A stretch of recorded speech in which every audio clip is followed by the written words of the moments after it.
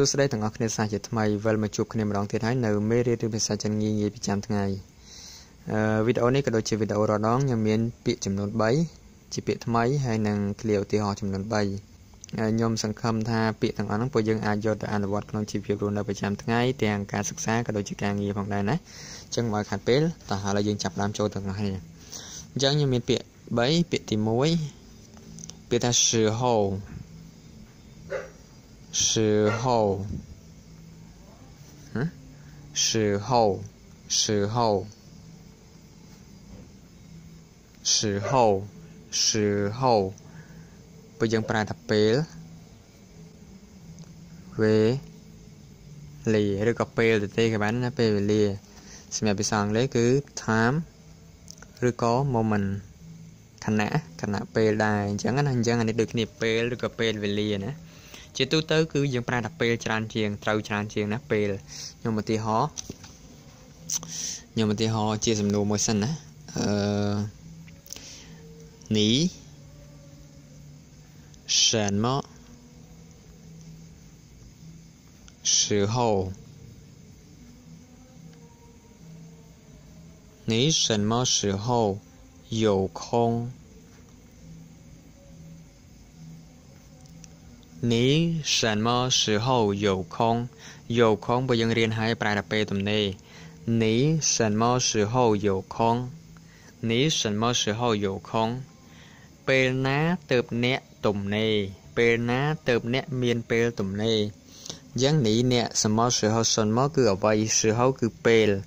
សមកសឺហៅគឺពេលណានេះសិនមកសឺហៅអ្នកពេលណាយោខងមានពេលទំនេរនេះសិនមកសឺហៅយោខង អ្នកពេលណាមានពេលទំនេរ你什么时候有空ណាចឹងខ្ញុំឧទាហរណ៍មួយទៀតខ្ញុំឧទាហរណ៍អានេះខ្ញុំឧទាឧទាហរណ៍ទាំងអស់គាត់តែយើងប្រាប់ជា clear ខ្លះអឺខ្ញុំឧទាហរណ៍តែចេះ吃饭吃饭的时候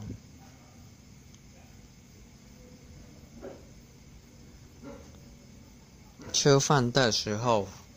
吃饭的时候ពេលញ៉ាំបាយអញ្ចឹងខ្ញុំចង់និយាយកន្លែងពេលនេះណា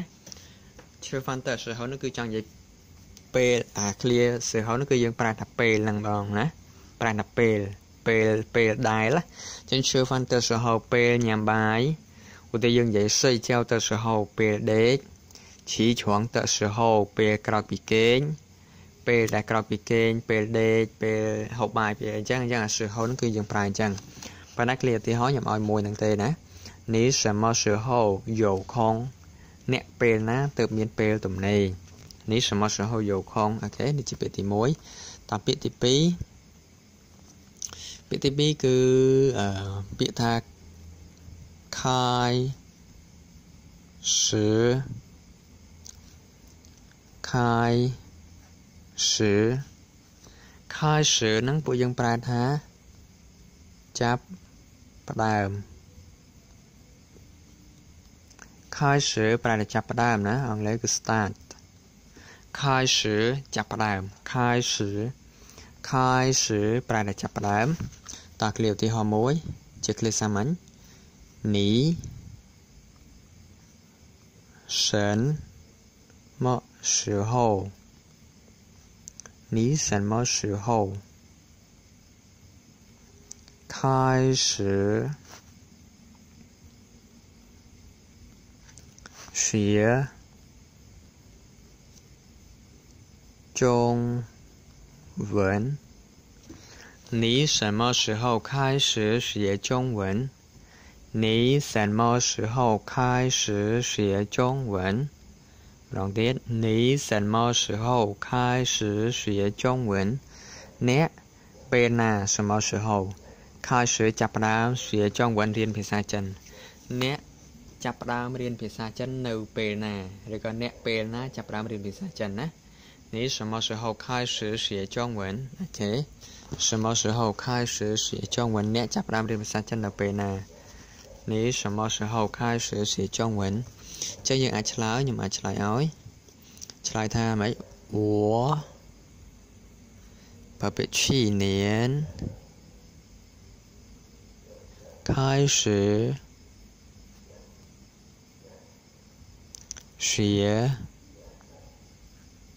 中文。我去年开始学中文。我去年去年去ហ្នឹងគឺទៅនានគឺឆ្នាំ去年គឺ ឆ្នាំទៅដែលយើងប្រែជានៃធម្មតាគឺឆ្នាំមុនណា我去年开始学中文我去年开始学中文我去年开始学中文អូខេអញ្ចឹងខ្ញុំចាប់ដើមរៀនភាសាចិននៅឆ្នាំកាលពីឆ្នាំទៅណាឆ្នាំមុនអូខេអញ្ចឹងយើងអត់ផ្ដោតទៅលើពាក្យនេះទេយើងផ្ដោតទៅពាក្យ开始ណា开始ប្រែតែចាប់ដើមអញ្ចឹងពាក្យទី3គឺពាក្យថា结束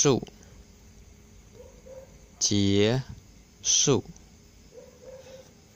结结束ជាសុនោះពួកយើងប្រែថាបញ្ចប់ណាជាសុបញ្ចប់អញ្ចឹងមានន័យថាខៅសើចាប់ដើមជាសុបញ្ចប់នៅអង់គ្លេសគឺ end ឬក៏ finish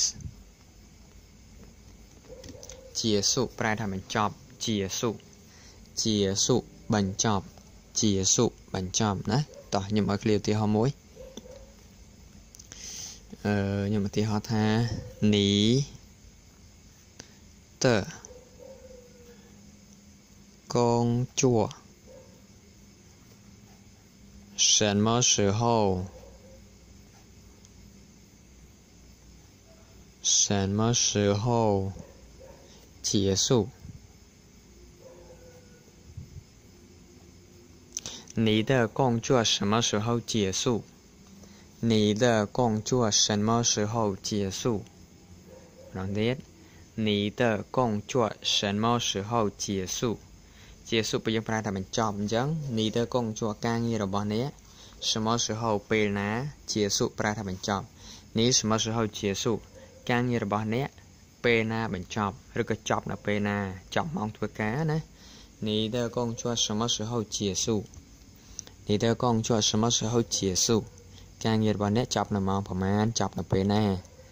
你的工作什么时候结束អូខេតោះឥឡូវយើងសង្ខេបពាក្យហ្នឹងមកវិញទាំងអស់ពាក្យ3ហ្នឹងណាអញ្ចឹងយើងមាន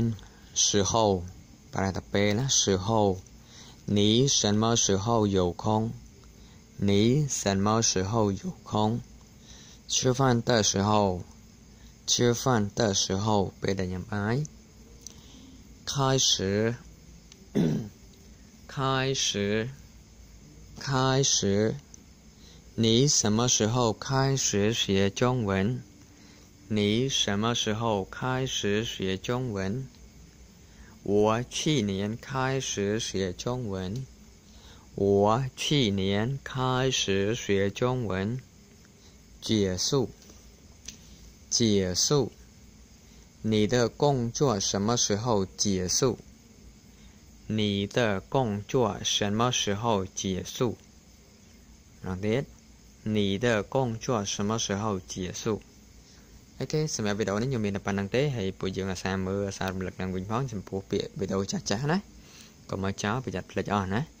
ហើយយើងជួបគ្នាប៉ុណ្ណឹងហើយយើងនឹងជួបគ្នាបន្តនៅវីដេអូក្រោយទៀតអរគុណ